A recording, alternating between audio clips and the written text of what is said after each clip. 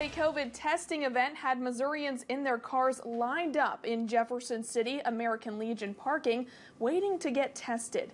ABC 17's Joshua Blount joins us live from the newsroom tonight after spending the day at their testing event. And Joshua, people could drive up and get tested in a matter of minutes.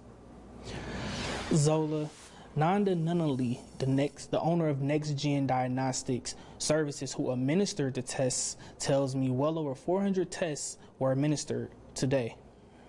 From 10 until 6 this evening, people waited in their vehicles patiently to be tested for COVID 19. Sarah Shraft, one woman who drove 40 minutes to get tested tells me she hasn't been feeling good the last few days and says the test will give her a peace of mind and save her some money. I'm just very glad that we have programs like this where it's not that far from home and you can come and get the free test instead of having to spend money that you might not have on a test and therefore you might avoid getting it. Brad Hutchinson is another person who made his way into the testing line today. He tells me he is fully vaccinated but was exposed to COVID and wanted to make sure his family and those who works around him are safe. He says in the long run, he feels the vaccines will be beneficial. I, I think that the more people that actually have it, uh, we're going to be better off in the long run.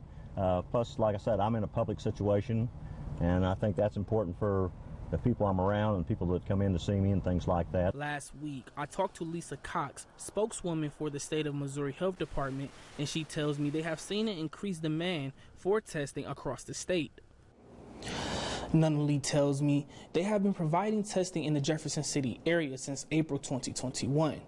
And she says today was the most she has saw people come out and get tested in the Jefferson City area. Reporting live from the newsroom, Joshua Blount, ABC 17 News. All right, thank you so much, Joshua. If you didn't have a chance to get your free PCR test at the community COVID testing event, people will have another chance two weeks from now on the 23rd. Those that are tested can expect results back in 24 to 72 hours.